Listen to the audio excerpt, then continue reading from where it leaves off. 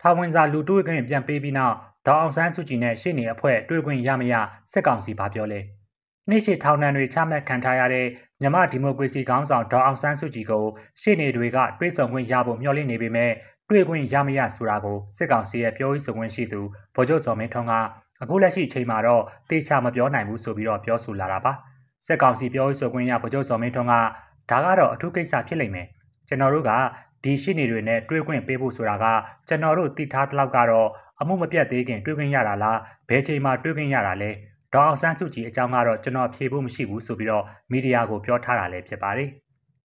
စစ်ကောင်စီပြောခွင့်ရဗိုလ်ချုပ်စော်မင်းထွန်းကတော့မြန်မာဒီမိုကရေစီခေါင်းဆောင်ဒေါအောင်ဆန်းစုကြည်ကိုသူ့ရဲ့ရှေ့နေတွေနဲ့တွေ့ဆုံခွင့်ပေးဖို့အထူးကိစ္စတရက်အနေနဲ့ဆောင်ရွက်ပေးမယ်လို့ပြောပေမဲ့တွေ့ခွင့်ပေးမပေးဆိုတာကိုတော့ရှင်းရှင်းလင်းလင်းမပြောပါဘူး မြန်မာဒီမိုကရေစီခေါင်းဆောင်ဒေါအောင်ဆန်းစုကြည်ဟာစစ်တပ်အာဏာသိမ်းခဲ့တဲ့2021ခုနှစ်ဖေဖော်ဝါရီလနေ့ကစပြီးဖမ်းဆီးခံခဲ့ရတာဖြစ်ပါတယ်။အသက်88နှစ်ရှိပြီဖြစ်တဲ့မြန်မာဒီမိုကရေစီခေါင်းဆောင်ဒေါအောင်ဆန်းစုကြည်ကိုအမှု16မှုနဲ့ဆွဆွဲထားပြီးတော့အခုလက်ရှိမှာထောင်ဒဏ်ပြစ်ဒဏ်33နှစ်ချမှတ်ထားတာပါ။ဒီထဲကမှ6နှစ်ကိုပြီးခဲ့တဲ့ဩဂုတ်လ10ရက်နေ့က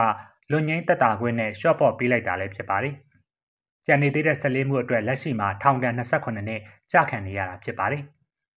လက်ရှိမှာရှိနေတိုင်ဝင်းကမြမဒီမိုကရေစီခေါင်းဆောင်ဒေါအောင်ဆန်းစုကြည်ကိုတွေ့ခွင့်ရဖို့စစ်ကောင်စီကိုအခု2023ခုနှစ်နှစ်စန်းပိုင်းကလေးက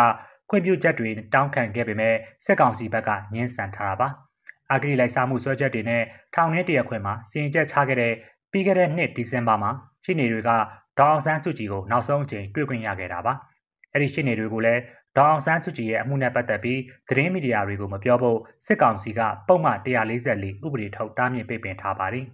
။တရားလွှတ်တော်ရှင်းနေတန်ဝမ်ရဲ့ပြောကြားချက်တွေအရလူအခွင့်အရေးရပဲဖြစ်ဖြစ်အကျဉ်းသားအခွင့်အရေးအရပဲဖြစ်ဖြစ်ဒီအခွင့်အရေးကိုမြန်မာဒီမိုကရေစီခေါင်းဆောင်ဒေါအောင်ဆန်းစုကြည်ကိုလည်းရှေ့နေတွေနဲ့တွဲဆုံဝင်ပေးဖို့တင်တယ်လို့သုံးသပ်ပါတယ်။ အခုလက်ရှိမှာတော့စစ်ကောင်စီကအောက်တိုဘာ24ရက်နေ့ကစပြီးတော့ကိုဗစ်ရောဂါကြောင့်2020ခုနှစ်မတ်လ20ရက်နေ့က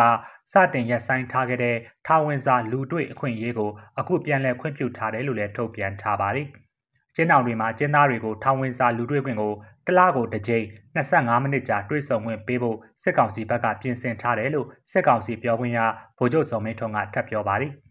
အဲတွေ့ထာဝန်စာတွေ့ခွင့်ကတော့အောက်တိုဘာ24ရက်နေ့ကနေပြန်ပြီးတော့ခွင့်ပြုမယ်ပြောပါတယ်ဗျာ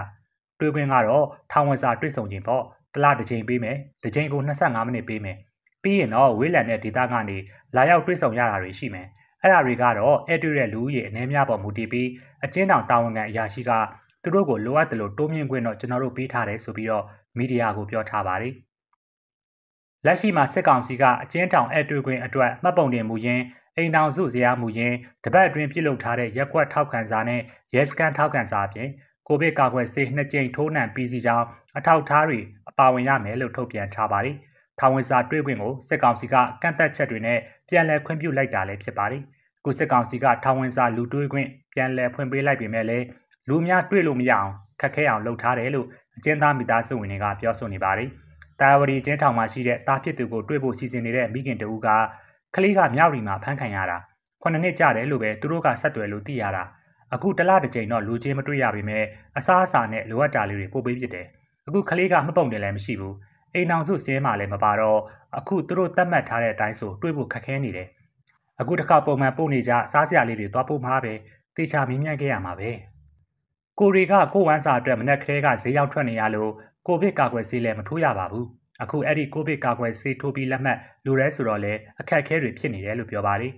အခုလက်ရှိမှာထောင်ဝင်စာလူတွေနဲ့ပတ်သက်ပြီးစစ်ကောင်စီရဲ့ထောက်ခံချက်တောင်းခံမှုကြောင့်အကျဉ်းသားတွေရဲ့မိသားစုဝင်တွေကတော့အခက်အခဲတွေ့နေတယ်လို့ထောင်ဝင်စာပို့ပေးနေတဲ့ဖွဲ့တွေကပြောထားပါတယ်။